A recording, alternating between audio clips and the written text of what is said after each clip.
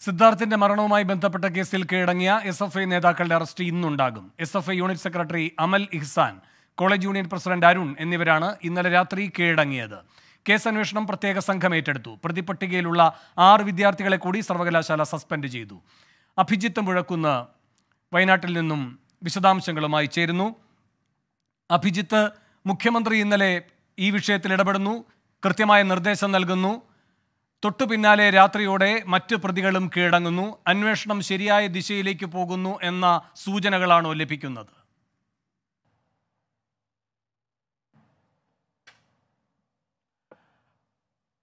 വേണു നിലവിൽ അത്തരത്തിൽ വിലയിരുത്തേണ്ടി വരും. ഈ സംഭവത്തിൽ സിദ്ധാർത്ഥിന്റെ മരണത്തിൽ പതിനെട്ട് പേരാണ് പോലീസിന്റെ പ്രതിപ്പട്ടികയിൽ ഉണ്ടായിരുന്നത് ഇതിൽ പത്തു പേർ പോലീസിന്റെ പിടിയിലായിട്ടുണ്ട്. നിലവിൽ മൂന്ന് പേർ പോലീസിന്റെ കസ്റ്റഡിയിലുമുണ്ട്.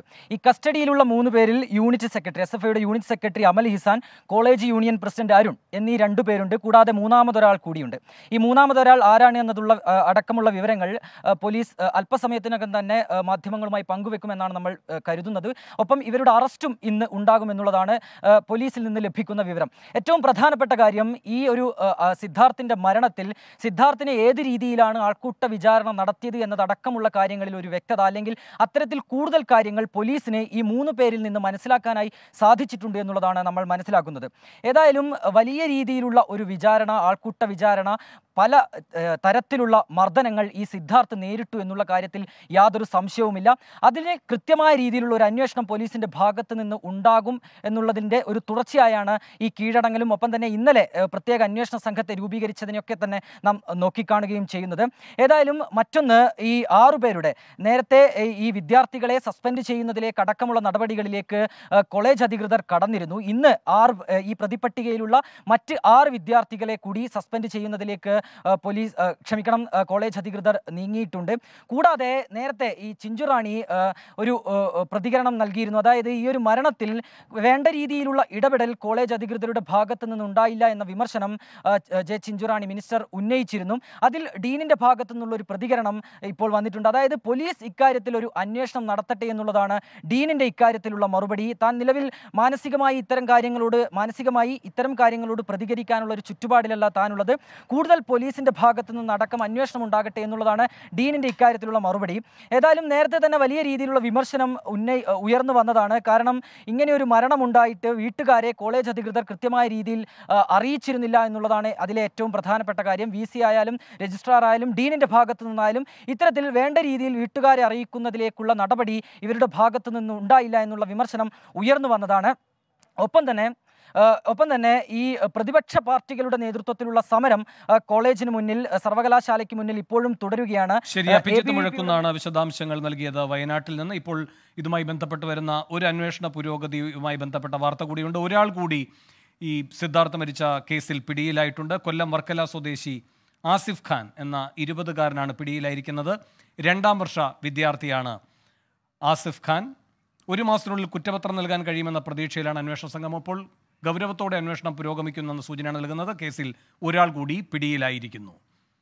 A general secretary K Venugopal സിദ്ധാർത്ഥിന്റെ വീട്ടിലെത്തി കുടുംബത്തെ ആശ്വസിപ്പിക്കുകയാണ്. സിദ്ധാർത്ഥിന്റെ അച്ഛനോട് കാര്യങ്ങൾ ആരായുകയാണ്. നേരത്തെ മന്ത്രി ജി ആർ എനിലും വീട്ടിലെത്തി കുടുംബാംഗങ്ങളെ കണ്ടിരുന്നു. ഇതിൽ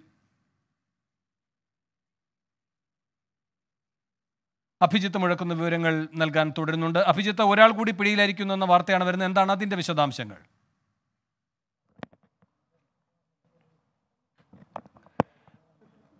വേണു നിലവിൽ ഒരാളെ കൂടി ഒരാൾ കൂടി പോലീസിന്റെ പിടിയിലായിട്ടുണ്ട് എന്നുള്ളതാണ് നമുക്ക് ഏറ്റവും പുതിയതായി ലഭിക്കുന്ന വിവരം. കൊല്ലം വർക്കല സ്വദേശിയായ ആസിഫ് ഖാൻ എന്നാണ് ഇയാളുടെ പേര് വിവരങ്ങൾ. ഇയാൾ രണ്ടാം വർഷ വിദ്യാർത്ഥിയാണ് എന്നും നമുക്കറിയാനായി സാധിക്കുന്നു. ഈ ഒരു ആൾക്കൂട്ട വിചാരണയിൽ അതായത് ഈ ഒരു ഹോസ്റ്റലിൽ വെച്ച് സിദ്ധാർത്ഥിനെ മർദ്ദിച്ചതടക്കമുള്ള കാര്യങ്ങളിൽ പങ്കെടുത്ത ഒരാളാണ് ഇപ്പോൾ പിടിയിലായത് എന്നുള്ളതാണ് ഏറ്റവും പ്രധാനപ്പെട്ട വിവരം.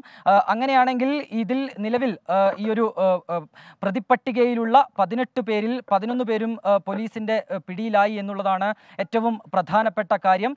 പോലീസിന്റെ അന്വേഷണം ആ തരത്തിൽ തന്നെ മുന്നോട്ട് നീങ്ങുകയും ചെയ്യുകയാണ്. അതായത് വർക്കലയിലെ വീട്ടിൽ വെച്ചാണ് ഈ ഈ ഇയാളെ അതായത് രണ്ടാം വർഷ വിദ്യാർത്ഥിയായ ആസിഫ് ഖാനെ പിടികൂടിയത് എന്നും നമുക്ക് ഈ ഒരു ഘട്ടത്തിൽ മനസ്സിലാക്കാനായി സാധിക്കുന്നു. ഏതായാലും ഇവരുടെ ഇവരിൽ നിന്നൊക്കെ മൊഴി ശേഖരിച്ച ശേഷം ഇക്കാര്യത്തിൽ ഒരു കൂടുതൽ വ്യക്തത അതായത് റാഗിംഗ് അടക്കമുള്ള കാര്യങ്ങളിൽ നിലവിൽ റാഗിംഗ് ഉൾപ്പെടെയുള്ള കാര്യങ്ങൾ ചേർത്താണ് പോലീസ് കേസെടുത്തിരിക്കുന്നത്. കൂടുതൽ വ്യക്തത ഇക്കാര്യത്തിൽ വരേണ്ടതുമുണ്ട്. ഗൂഢാലോചനയടക്കം ഇക്കാര്യത്തിൽ ഉണ്ടായിട്ടുണ്ടോ എന്നുള്ളതാണ് ഏറ്റവും പ്രധാനപ്പെട്ട ചോദ്യം.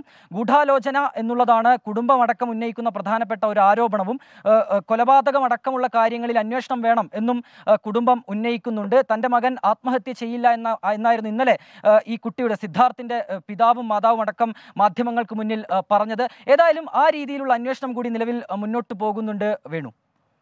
ശരി അഭിജിത്ത് മുഴക്കുന്നാണ് വിശദാംശങ്ങൾ നൽകിക്കൊണ്ടിരിക്കുന്നത്.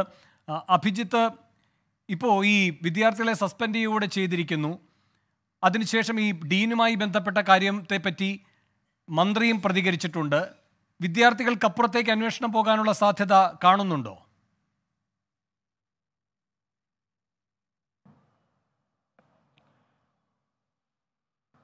വേണു ഇക്കാര്യത്തിൽ ഏറ്റവും പ്രധാനപ്പെട്ട ഒരു ആരോപണം. ഇങ്ങനെ ഒരു സംഭവം പലരും ഈ കോളേജുമായി ബന്ധപ്പെട്ട പലരും ഇത്തരത്തിലൊരു സംഭവം നടന്നതായി. അതായത് സിദ്ധാർത്ഥിന് ഇങ്ങനെ ഈ രീതിയിലുള്ള മർദ്ദനം നേരിട്ടതായി കോളേജ് അധികൃതരിൽ നിന്ന് കോളേജ് അധികൃതരിൽ തന്നെയുള്ള പലരും അറിഞ്ഞിരുന്നു. പക്ഷേ അക്കാര്യത്തിൽ അത് ബന്ധപ്പെട്ടവരെ അറിയിക്കാനോ മറ്റും ഈ കോളേജ് അധികൃതർ തയ്യാറായില്ല എന്നുള്ളതായിരുന്നു ഏറ്റവും പ്രധാനപ്പെട്ട ഒരു ആരോപണം.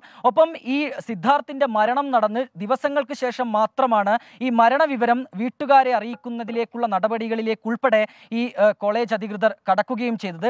ഈ ആൾക്കൂട്ട വിചാരണയുമായി ബന്ധപ്പെട്ട് ഈ ഹോസ്റ്റൽ മുറിയിൽ വെച്ച് നടന്ന ആൾക്കൂട്ട വിചാരണയുമായി ബന്ധപ്പെട്ട് അതുമായി അതിനെ യഥാവിധം ബന്ധപ്പെട്ടവരെ അറിയിക്കാത്തത് ഉൾപ്പെടെ അത്തരം കാര്യങ്ങളിൽ ഉയർന്നു വരുന്ന ആരോപണങ്ങളിലാണ് നിലവിൽ ഒരു അന്വേഷണം നടക്കേണ്ടത്. അതിലാണ് ഇനി ഒരു വ്യക്തത വരികയും ചെയ്യേണ്ടത്. പോലീസ് പറയുന്നതനുസരിച്ച് ഈ പതിനെട്ട് പേരാണ് നിലവിൽ ഈ പതിനെട്ട് പേരാണ് ഈ ഒരു കൃത്യത്തിൽ നേരിട്ട് പങ്കെടുത്തത്. അതുമായി ബന്ധപ്പെട്ട അന്വേഷണമാണ് പോലീസിന്റെ ഭാഗത്ത് നിന്ന് നടക്കുകയും ചെയ്യുന്നത് വേണു. ശരി സിദ്ധാർത്ഥൻ മരിച്ച കേസിൽ ഒരു വിദ്യാർത്ഥി കൂടി ഇപ്പോൾ പിടിയിലായിരിക്കുകയാണ്. രണ്ടാം വർഷ വിദ്യാർത്ഥിയാണ് പിടിയിലായിരിക്കുന്നത്. വിശദാംശങ്ങളാണ് അഭിജിത്ത് മുഴക്കുന്ന് വയനാട്ടിൽ നൽകിയത്. കെ സി വേണുഗോപാൽ ഇപ്പോൾ സിദ്ധാർത്ഥിന്റെ അമ്മയെ കാണുകയാണ്. അവരെ ആശ്വസിപ്പിക്കുകയാണ്. അല്പം മുമ്പാണ് വേണുഗോപാൽ സിദ്ധാർത്ഥിന്റെ വീട്ടിലെത്തിയത്. അച്ഛനെയും മറ്റു കുടുംബാംഗങ്ങളെയും കണ്ടത് ഇപ്പോൾ അമ്മയെ ആശ്വസിപ്പിക്കുകയാണ് വേണുഗോപാൽ. ലോകത്തെവിടെയായാലും ഏത് സമയത്തും ട്വന്റി ഫോർ വാർത്തകളും ഓഗ്മെന്റഡ് റിയാലിറ്റി പാക്കേജുകളും എക്സ്പ്ലെയിനറുകളും വിശദമായി കാണാൻ ഞങ്ങളുടെ യൂട്യൂബ് ചാനൽ നിങ്ങൾക്ക് സബ്സ്ക്രൈബ് ചെയ്യാം.